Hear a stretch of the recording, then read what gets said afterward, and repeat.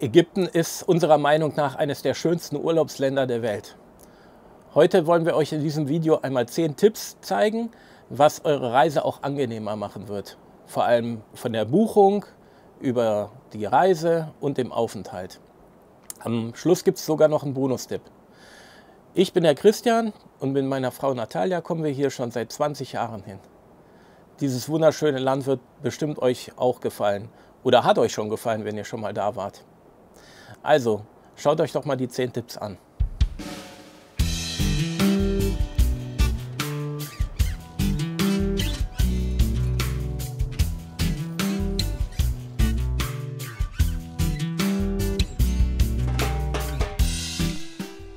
Ja, aber ist es überhaupt ratsam, nach Ägypten im Moment zu gehen? Das Auswärtige Amt hat auf der offiziellen Webseite eine äh, Teilreisewarnung veröffentlicht und dort wird halt gesagt, dass man an die ägyptisch-israelische Grenze in diese Region nicht reisen sollte, was ja natürlich auch klar ist. Ähm, man sollte auch in die Gebiete der Sahara nicht alleine reisen und auch ähm, in Kairo aufpassen, wenn Demonstrationen sind. Oder auch, wenn man sich im Süden der Sinai-Halbinsel, also in der Nähe von Sharm el-Sheikh, befindet, sollte man auch nicht ähm, in Reisen machen, die in die Wüste gehen oder sowas. Da sind äh, halt gefährliche Spots, die sollte man meiden. Aber wenn ihr jetzt einen Urlaub bucht und die Zeit näher rückt, dann schaut auf jeden Fall nochmal auf der Seite des Auswärtigen Amtes. Da wisst ihr dann genau Bescheid, äh, welche Warnungen zu dem Zeitpunkt aktuell sind. Ja, was ist die beste Reisezeit? Die beste Reisezeit für Ägypten ist äh, grundsätzlich zwischen Oktober und Mai.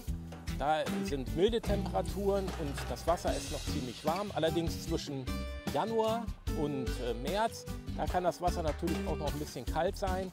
Aber okay, man kann trotzdem schwimmen. Es ist so zwischen 20 und 22 Grad warm. Und in den Sommermonaten, da ist es natürlich super heiß. Und äh, da ist es für einige halt äh, nicht angenehm bei 40 Grad.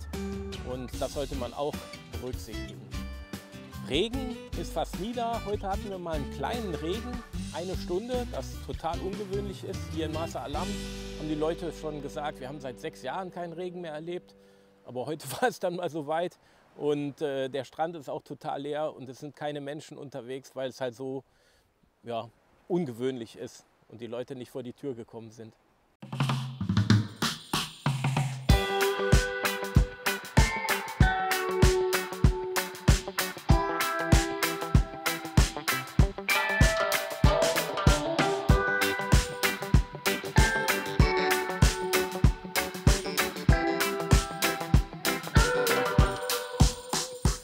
Ja, jeder Urlaub fängt mit der Buchung an. Und äh, deshalb sollte man sich natürlich überlegen, wie man bucht. Ähm, natürlich kann man zum Reisebüro gehen, da kriegt man eine Beratung. Vielleicht war derjenige auch schon äh, in einem Hotel, der einen berät. Aber man kann natürlich auch online schauen. Die Online-Portale sind immer besser geworden in den letzten Jahren. Man kann dort auch mit den Mitarbeitern chatten und auch äh, telefonisch vielleicht einige Fragen stellen. Und natürlich ein großer Pluspunkt der Online-Portale ist es, das ist natürlich der Preis. Ne? Wenn ihr euch die Hotels anschaut, guckt euch gut die Gästebewertungen an, wie ähm, das Hotel bewertet ist, was da für eine Beschreibung ist, lest euch das genau durch. Schaut euch auch Google Maps mal an, wo liegt das Hotel. Wenn das Hotel zum Beispiel in so einer kleinen Bucht liegt, wenn Wind ist, wenn Wellen sind, dann kann man trotzdem in der Bucht noch schwimmen. Und das ist natürlich ein großer Vorteil, wenn das Hotel so einen Steg hat, was rausgeht. Das kann man auch auf Google Maps gut erkennen. Dann ist meistens ein schönes Riff vorgelagert, wo man dann schön schnorcheln kann, wo man sich die Unterwasserwelt schön anschauen kann. Und das ist natürlich auch ein großer Pluspunkt. Wenn ihr gerne äh, taucht und auch schnorchelt und viele Fische sehen wollt, dann ist natürlich äh, Masa Alam sehr, sehr gut. Hier in Masa Alam, wo wir auch gerade sind, ist es generell etwas wärmer. Es gibt mehr Fische, Ihr könnt teilweise Delfine sehen. In diesem Urlaub haben wir auch schon welche gesehen. Oder auch Meeresschildkröten. Und wenn ihr Glück habt, seht ihr sogar Seekühe. Auch die Flugzeit äh, sollte man sich gut anschauen. Ähm, es gibt ja natürlich unterschiedliche Flüge. Es gibt Nachtflüge morgens und äh, wenn man natürlich ausgeruht an den Ferienort ankommt, ist das natürlich besser. Deshalb da solltet ihr auf jeden Fall auch noch mal drauf achten. Wenn ihr jetzt noch mit den Flugzeiten ein bisschen rumspielt, dann seht ihr, dass ihr vielleicht auch ein kleines Schnäppchen machen könnt, wenn ihr den Flug etwas verlängert. Dann findet ihr teilweise bessere Angebote. Das liegt daran, dass die, ähm, dass die Flüge dann besser sind. Und deshalb schaut euch mal diese Varianten auch an, wenn ihr ein bisschen flexibel seid. Verlängert den Urlaub um ein, zwei Tage und da könnt ihr teilweise ein gutes Schnäppchen machen.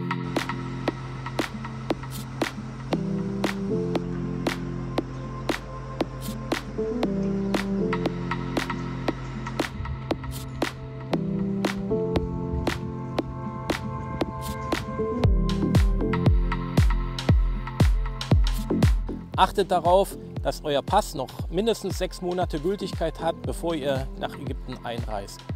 Das Visum, da müsst ihr euch noch nicht drum kümmern. Das passiert in Ägypten. Aber da haben wir festgestellt, dass viele da auch noch nicht so gut mit zurechtkommen.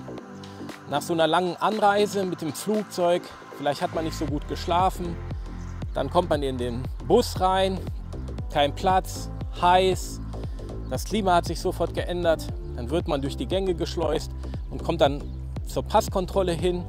Das ist ein großer Raum und dann stehen da ganz viele Reisevertreter und äh, rufen deinen Namen vielleicht, rufen deine Reisegesellschaft und automatisch fühlt man sich natürlich geborgen. Man denkt, oh, man wird hier schön abgeholt und wenn einem dann erklärt wird, dass man noch ein Visum braucht, dann ist man natürlich auch geneigt, demjenigen zu vertrauen und da auch äh, sein Visum zu kaufen. Was man aber nicht gemerkt hat, dass man für, diese, für diesen Service ein bisschen mehr bezahlen muss. Denn wenn man sich umgedreht hätte, dann hätte man da einen kleinen Schalter gesehen, wo man sein Visum für deutlich weniger bekommen kann. Also achtet darauf, wenn ihr in die Halle reinkommt, schaut mal nach links oder nach rechts.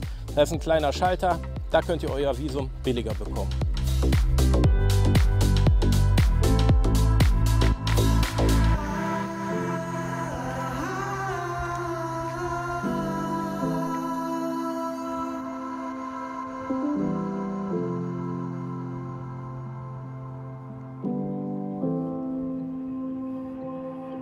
Nächste Geschäftsidee der Ägypter lässt nicht lange auf sich warten.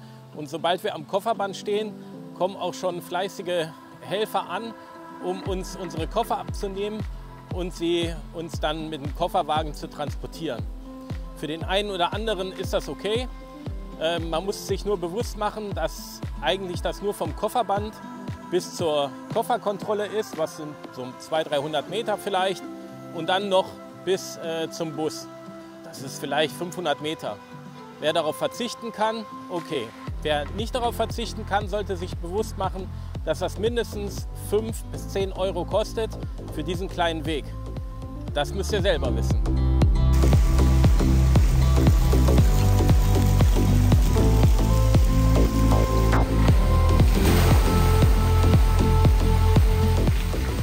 In vielen Hotels ist die WLAN-Geschwindigkeit nicht sehr gut oder auch nicht sehr stabil.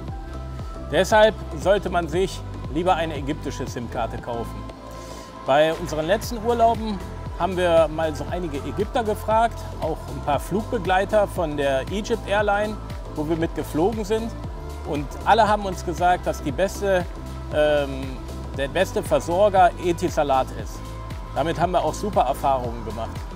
Wo wir jetzt in Hugada am Flughafen waren, haben wir uns bei Etisalat am Stand direkt eine SIM-Karte gekauft und der Mitarbeiter dort sagte, in einer Stunde wäre die dann aktiviert. Da hatten wir aber so ein bisschen ungutes Gefühl, weil wir konnten ja auch nicht eine Stunde am Flughafen warten. Aber es stimmte alles, was er gesagt hat, auch die Gigabyte-Anzahl, die er uns verkauft hat, stimmte alles. Und äh, wenn ihr das nachprüfen wollt, ist es auch bei Etisalat ganz einfach. Da könnt ihr einfach euch die App runterladen und dann könnt ihr dann alles nachprüfen.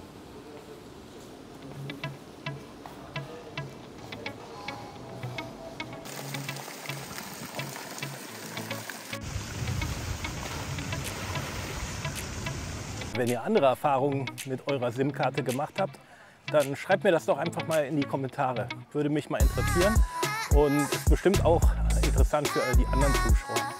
Also, schreibt uns doch mal einen Kommentar.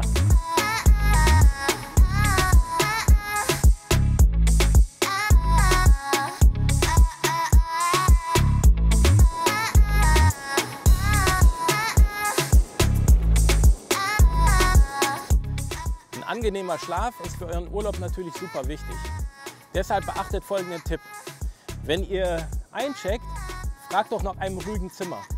Ansonsten kann es nämlich sein, dass ihr ein Zimmer bekommt, was ziemlich nah an der Abendanimation dran ist und die kann schon ziemlich laut sein. Außerdem könnt ihr auch nach dem Zimmer fragen, was in der oberen Etage ist und da könnt ihr auch lüften und seid wahrscheinlich nicht so viel von den Moskitos belästigt. Und dann, wenn einer von euch vielleicht unruhig schläft, dann ist es auch gut, nach zwei Einzelbetten zu fragen.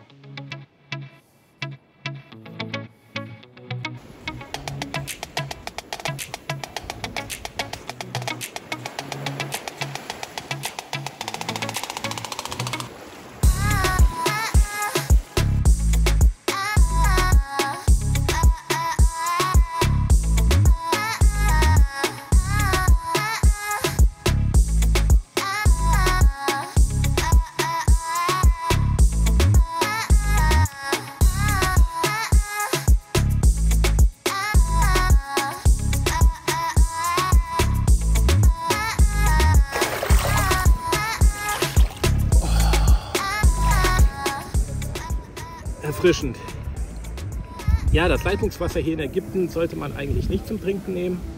Empfindliche Personen sollten das auch nicht zum Zähneputzen nehmen. Hier in den Hotels in Ägypten wird eigentlich überall Trinkwasser angeboten und so kann man darauf gut zugreifen. Auch die Spirituosen und Cocktails, da sollte man vorsichtig sein, weil der Alkohol hier nicht sehr gut ist. Lieber ist, wenn man Wein trinkt oder mal ein Bier. Und ich habe hier mal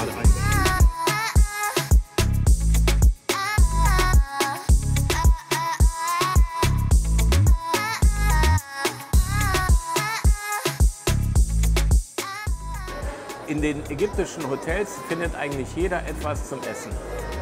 Jeder Geschmack wird eigentlich abgedeckt.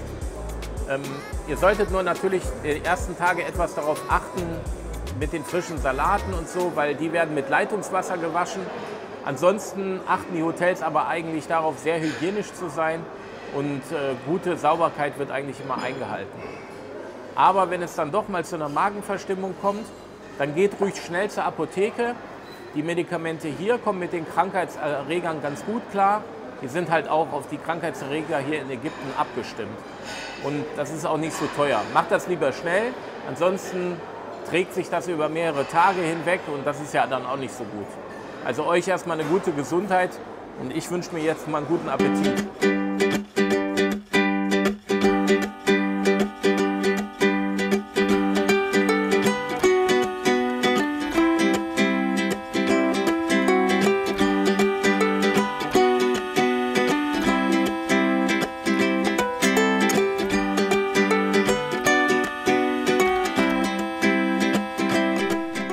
Ja, wir alle haben unterschiedliche finanzielle Möglichkeiten. Aber sicherlich für einen guten Service ein bisschen Trinkgeld dem Kellner zuzustecken, ist eine gute Sache. Aber was können die machen, die vielleicht nicht so viel Geld haben? Ähm, da gibt es auch einige Möglichkeiten. Zum Beispiel könntet ihr den ähm, Ägyptern das Geld wechseln. Ähm, viele von den Trinkgeldern sind halt Münzen und die können sie nicht umtauschen. Und deshalb ist es ganz gut, wenn wir äh, vielleicht 5 Euro oder 10 Euro Scheine haben und dann können sich die ähm, Hotelangestellten das umwechseln und können in den Wechselstuben halt ihr Geld auf den ägyptischen Pfund umtauschen. Ja, und wenn ihr vielleicht nicht so viele Möglichkeiten habt, Trinkgeld zu geben, vielleicht am Ende des Urlaubs mal beobachten, wer euch einen schönen Service gegeben hat, wer euch nett behandelt hat und demjenigen, demjenigen dann vielleicht auch etwas zustecken, ist sicherlich eine nette Sache. Ja, und vergesst auch nicht, ein Dankeschön und ein Lob ist sicherlich auch gerne gesehen, denn wir haben das ja auch gerne.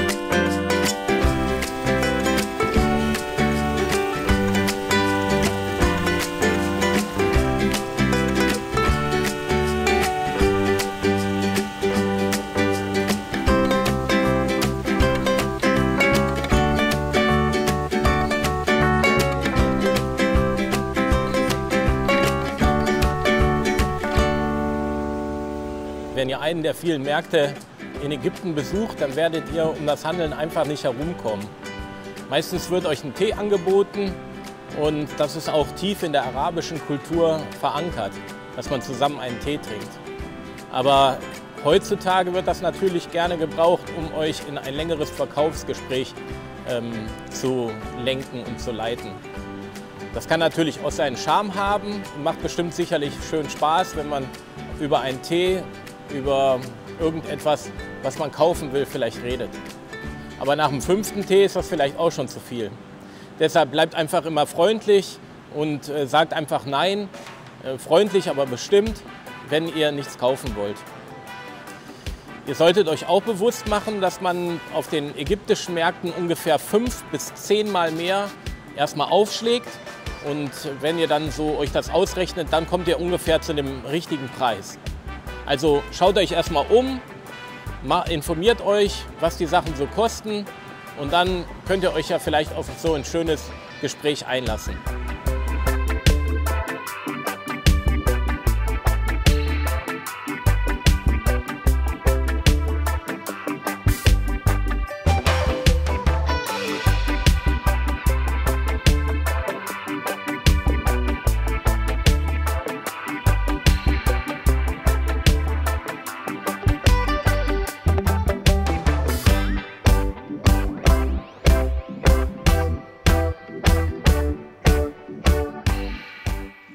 Mein nächster Tipp gilt nicht nur den Urlaubern, die nach Ägypten fliegen, sondern eigentlich allen, die ins Flugzeug steigen.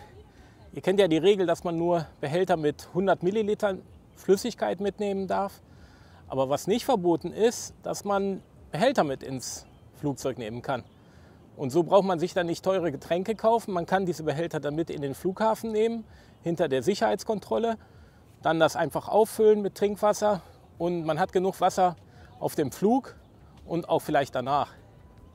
Ähm, sogar in Ägypten, in Hugada und auch in Masa Alam gibt es solche Trinkwasserspender. Deshalb, wenn ihr nächste Mal losfliegt, vergesst eure Behälter nicht, denn dann habt ihr immer genug Wasser unterwegs.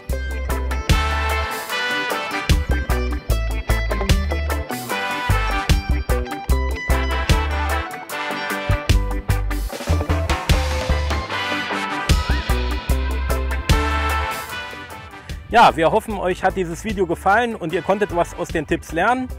Und euer Urlaub wird auch so angenehm werden, wie unser Urlaub diesmal war. Ähm, wenn euch das Video gefallen hat, dann gebt uns doch einen Daumen hoch. Das äh, wird uns helfen, aber auch den vielen anderen, die vielleicht dieses Video mal schauen können und aus den Tipps was lernen. Ja, wir freuen uns auf jeden Fall schon auf unserem nächsten Urlaub in Ägypten und ja, vielleicht sehen wir uns ja da mal. Also, bis dahin.